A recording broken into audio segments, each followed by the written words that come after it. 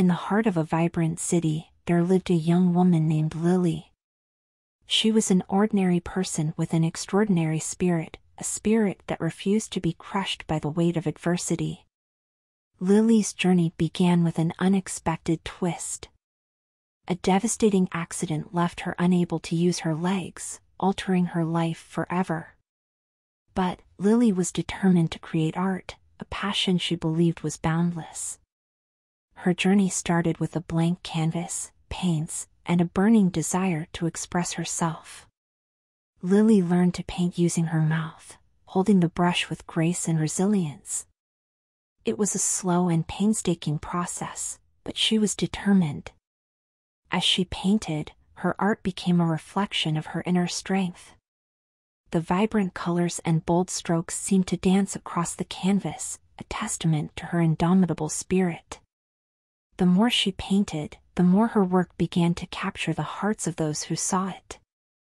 Word of Lily's extraordinary talent spread, and her art started to gain recognition her paintings found their way into galleries, and she received awards for her inspirational work. Lily's journey wasn't just about her art, it was a story of personal transformation.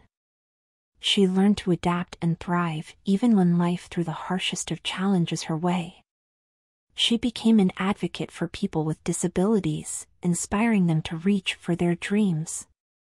One day, Lily received a special request a school for children with disabilities asked her to share her story and her art.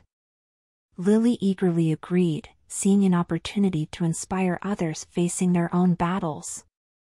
At the school, Lily met a young boy named Sam. He had recently lost his ability to walk and was struggling to find hope. Lily's story and her vibrant art resonated with Sam, and he decided to give art a try. With Lily's guidance, Sam discovered his own creative talent. He found solace in painting and a new way to express his emotions. It was a turning point for him, a moment of realizing that life's challenges could lead to unexpected beauty. Lily's journey, filled with adversity and triumph, showed the world that even in the darkest moments, we have the power to rise. Her story was a reminder that the human spirit is unbreakable, and that art, in all its forms, has the incredible ability to heal and inspire.